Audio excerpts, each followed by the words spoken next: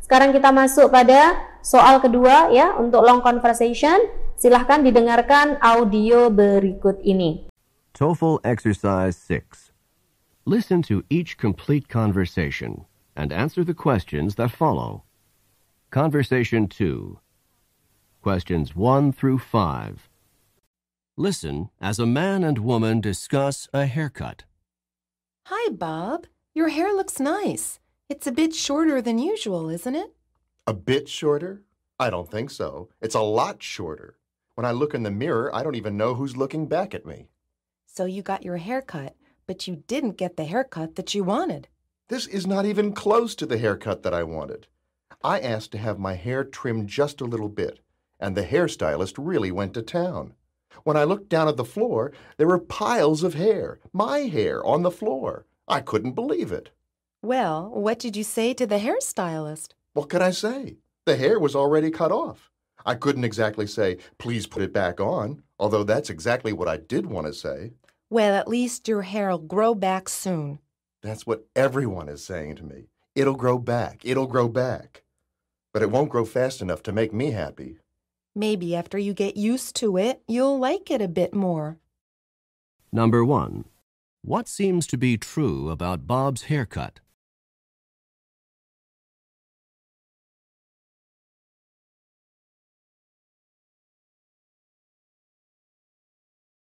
Oke, untuk soal nomor satu, kira-kira yang benar yang mana nih tentang hasil potong rambut dari si Bob tadi? Dari ekspresinya ada kekesalan. Berarti dari sini ada ketidakpuasan dari hasil potong rambutnya. Kalau yang A, the haircut is unusually short. Pendeknya nggak biasa, kependekan ya. Kalau yang B, this is Bob's First, haircut. Ini pertama kali si Bob potong rambut, jelas tidak ya? Oke, Bob doesn't know who gave him the haircut. Nggak tahu tuh, ya? Masa nggak tahu sih, dipotong sendiri kok ya, sama orang yang ada di belakangnya ya. Jadi tukang potong rambut, masa tidak tiap mengetahuinya kan tidak mungkin.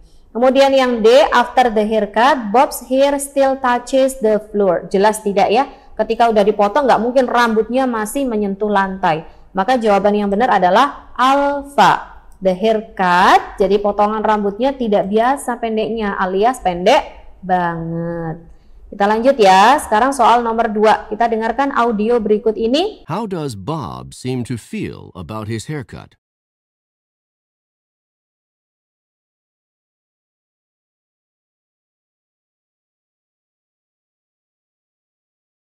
Oke. Okay. Dalam audio ditanyakan tentang perasaan dari si Bob terkait hasil dari potong rambutnya bagaimana perasaannya. Ada kekesalan ya, betul. Berarti kalau ada kekesalan, jawaban yang benar adalah dia nggak suka. Kalau yang A, it is just what he wanted, jelas tidak. Up ini yang dia inginkan. Kalau B, he enjoys, dia senang memiliki style terkini. Kalau yang D, he thinks, dia pikir ini bakal keren nih di musim panas. Maka yang benar adalah yang C. He dislikes it immensely. Ya, ini artinya dia sangat tidak menyukai hasil potongan rambutnya. Kemudian kita dengarkan sekarang audio soal nomor 3 berikut ini. Simak baik-baik. What did Bob actually ask the hairstylist to do?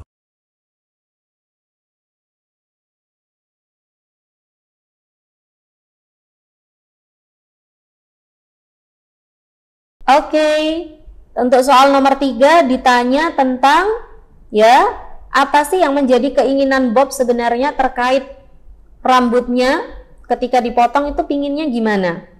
Nah, jadi ke tukang potong rambutnya itu pinginnya gimana? Kalau yang A dia pingin tukang potong rambutnya to go to town, ya jelas tidak ya.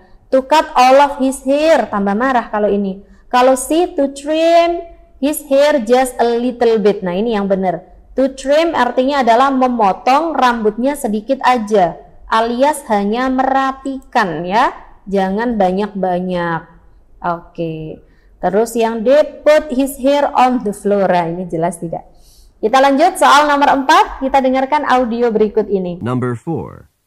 What did Bob see on the floor?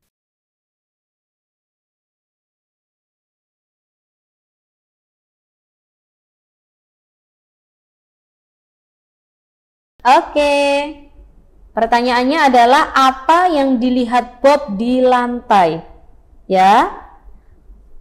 What does Bob see on the floor? Apa yang dilihat si Bob di lantai? Kalau orang potong rambut, pasti kalau kita lihat ke lantai yang kita lihat adalah potongan rambut kita ya. Karena ini motongnya kependekan berarti kebanyakan rambut yang dipotong, maka otomatis jawabannya adalah piles of his hair ya. Nah, tumpukan dari rambutnya banyak sekali rambutnya, malah tambah marah. Oke, dan soal yang terakhir di sini kita dengarkan ya pertanyaan berikut ini. Number 5. What do people keep saying to Bob?